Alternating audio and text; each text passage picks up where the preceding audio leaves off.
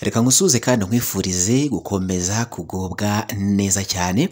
Ubu udahwema kutwereka ko ubana umunsi ku munsi aho uherereye hose waba uri mu gihugu cy'u Rwanda cyangwa se uri hanze y'igihugu cy'u Rwanda reka tukwifurize gukomeza kugubwa neza cyane. None reka tuguhe ndetse tunabonera kuguha ikaze muri aya makuru ya none. Inshuti mukundwa rero nyemerera turebere hamwe izi breaking news. Natwe n'amakuru mashya ni amakuru mashya arimo aratugeraho muri kano kanya. Ni amakuru ari kugarukaho mu karere ka Kamonyi aho umusore yaje gusangwa mu cyokezo bokerezamo inyama yapfiriyemo.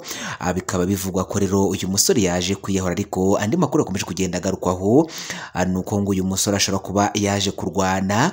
Nabo yasanze muri ako kabari rero bikarangira. Ngo bamwishe. Akaba ari amakuru yari kugenda agarukaho cyane. Ndetse ngo bamara kumwica bakamumanika. Muri icyo cyokezo giherereye aho ngaho muri kano karere ka Kamonyi. Abaturage rero bakaba basaba ubutabera kuri uyu mwana w'umusore. Waje kuba rero yapfira muri iki cyokezo mu kabari hano muri kano karere ka Kamonyi. Nk'uko rero amakuru ari kubigarukwaho biravugwa ko rero uyu musore ngo yarasanzwe ari umumotari. Ndetse akaba yari afitanye umwana na nyirako kabari nk'uko byakomeje kugenda abigarukwaho n'abatari bakeya. Ni amakuru yari kugarukaho cyane ku mbuga nkoranyambaga abantu benshi bacitse ururondoguru bakimara kumenya iby'aya makuru cyane cyane abaherereye hano muri kano karere ka Kamonyi. Turaje kugira ngo tuguhe update z'iyi nkuru ese nyuma y'uko asangwa muri iki cyokezo yamaze gupfa haba hakozwe iki se? Abakekwa ko baje kuba bakora abo bwicanyi baba baje kuba batabwa muri yombi. Byose rero turaje kugira ngo tubive umuzi n'umuzinga icyo tugusaba. Ni ugukora subscribe niba ari ubwa mbere ubanye natwe rero ukora subscribe cyangwa sabone ntiwibagiwe gukanda ku nzogera kugira ngo nitujye dushyiraho amakuru notification ujye uzibona uri mu ba mbere. Inkuru zacu ujye zikurikirana gatanu kuri gatanu. Nk'uwayika tudatinze rero. Reka twanzike twanzikire kuri iyi nkuru mu karere ka Kamonyi aho haje gusangwa umusore yapfiriye mu cyokezo mu gitondo cyo kuri uyu wa gatanu tariki ya cumi na gatanu gushyingo umwaka w'ibihumbi bibiri na makumyabiri na kane. Nibwo abaturage batuye mu mudugudu wa Taba mu kagari ka Masaka mu murenge wa Rugarika akarere ka Kamonyi. Bakaba batunguwe no gusanga umusore w'imyaka makumyabiri n'icyenda. Y'amavuko amanitse mu mugozi hejuru y'icyokezo yapfuye aho. Ibi ngibi byaje kuba rero byatungura abantu bakimara kumva iyi nkuru dore ko bamwe mu bari basanzwe bazi uyu musore bavuga ko yari umusore w'imico myiza ndetse witonda aho ngo baje gutungurwa nuko basanze uyu musore yapfiriye muri iki cyokezo ndetse ngo amanitsemo.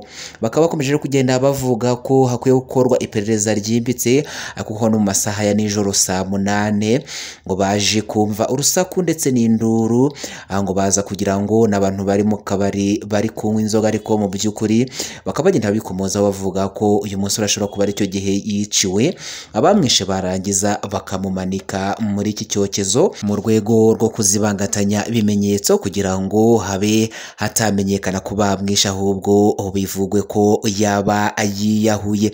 Bamwe mu baturage barimo abatuye aho nyakwigendera witwa Iradukunda Maritine yapfiriye batangarije BTN TV dukesha iyi nkuru ko habanje kumvikana cyangwa se habanje kubaho imirwano mu gicuku cyane cyane mu isaha ya saa munani aho bumvaga induru zivuga bamwe ntibabyitaho gusa baza gutungurwa no kubona uyu nyakwigendera wakoraga akazi k'ubumotari yapfuye amanitse muri iki cyokezo dore ko binavugwa ko iki cyokezo yari amanitsemo ngo yabyaranye n'umugore usanzwe akora muri iyi bizinesi cyangwa se nyiri iyi bizinesi uyu musore wari usanzwe akora akazi k'ubumotari akaba yaje gusangwa rero yapfiriye muri kano kabari ahazwi nko kwa Masumbuko nk'uko byakomeje kugenda bigarukwaho. Bamwe bakaba bagize bati mu gicuku nka saa munani twumvise ahantu hapfiriye havuga induru cyangwa se hari induru ziri kugenda zihumvikana barwana. Noneho ntitwabyitaho kuko ari ku kabari noneho tuza gutungurwa no gusanga iradukunda yapfuye. Bakaba bakomeje gutangaza ko iradukunda yaba yishwe gusa bakaba batangaza ko atigeze yihahura bitewe n'imico myiza bari basanzwe bamuziho bakaba basaba ko bakwiye gushakisha ababikoze ndetse bakaza kubiryozwa bakaba basaba rero ubuyobozi muri kano karere gushakisha abakoze aya mahano ubundi bakaza gutabwa muri yombi dore ko n'abantu bari basanzwe bari gusangira muri ako kabari bazwi bakwiye kuvugwa bakaba bakurikiranwa. Bakomeza bavuga ko Iradukunda Maritini yari umusore w'imico myiza gusa akaba yabatunguye ubwo bamenyaga ko yapfuye yiyahuye nk'uko byakomeje kugenda bigaruka rero bikaba byaje gutungurana aho byatunguye bamwe mu bari basanzwe bamuzi. Gusa ngo ikindi cyabatunguye bakaba batunguwe n'uko yapfiriye ahacururizaga umugore babyaranye bituma bakeka ko ashobora kuba yagiyeyo agasangayo abandi bagabo noneho yamufuhira bagahita bamwica bakaza kumumanika mu mugozi nk'uburyo bwo kuba basibanganya ibimenyetso cyangwa se abayobya uburari ngo ubona wese abe yavuga ko yiyahuye. Umunyamabanga nshingwabikorwa w'umurenge wa rugarika nkuru nziza jean dodiye yahamije by'aya makuru ko bayamenye ubwo buyobozi bw'umudugudu wa taba bwabamenyeshaga ko hari umuturage basanze mu kabari yiyahuye yapfiriyemo nk'uko byakomeje kugenda bigarukwaho nabo ngo bakimara kumenya aya makuru akaba bahise babimenyesha inzego zibakuriye zirimo n'iz'umutekano ndetse ko hahise hatangira iperereza ngo hamenyekane icyihishe inyuma y'urupfu rwa nyakwigendera wasanzwe. Muri kino cyokezo rero yamaze gushyiramo umwuka ubwo babonye amanitse mu mugozi. Yagize ati ni byo koko amakuru twayamenye?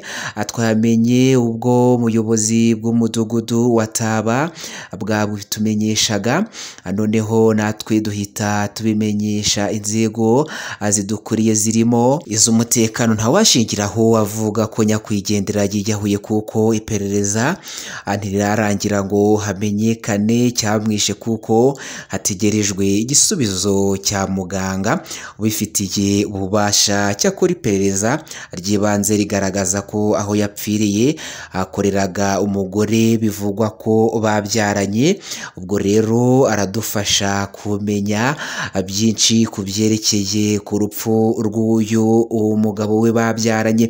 Agitifu nkuru nziza wihanganishije umuryango wa nyakwigendera aboneraho gusaba abaturage muri rusange kwirinda amakimbirane ndetse no mu gihe ahari bakajya bagana ubuyobozi bukaba bwabakiranura ku makimbirane bafitanye bitabaye ngombwa ko haza no kuba hagaragaramo impfu. Ahangaha rero akaba yakomeje abagira inama ko bakwiye kujya begera ubuyobozi mu gihe bafitanye amakimbirane ubuyobozi bukaba bwabafasha kuyahosha ntawe upfuye biturutse kuri ayo makimbirane. Nk'uko ngayo rero amakuru yari yakomeje kugenda agarukaho natwe twari tuje kugira ngo twigezeho update zayo niba ari ubwa mbere ubanye natwe kanda kuri sabone cyangwa se subscribe ntiwibagirwe gukanda ku nzogera kugira ngo nitujya dushyiraho amakuru notification ujye uzibona uri mu ba mbere. Inkuru zacu ujye uzikurikirana gatanu kuri gatanu. Akoresha cyangwa se paritaje amakuru yasa usangiza inshuti n'abavandimwe ikindi wibagirwe gukora like ujya hasi muri komenti usiga igitekerezo cyawe kuko na cyo ni ingenzi cyane. Ibyiza ubishime ndetse n'ibi na byo binenge kugira ngo tubone uburyo dukosora tujye tukugezaho amakuru acukumburanwa ubuhanga amakuru acukumburanwa ubushishozi ndetse amakuru yizewe cyane. Wakoze kuba natwe rero. Cawu cawu bayi bayi amakuru nakagaruka.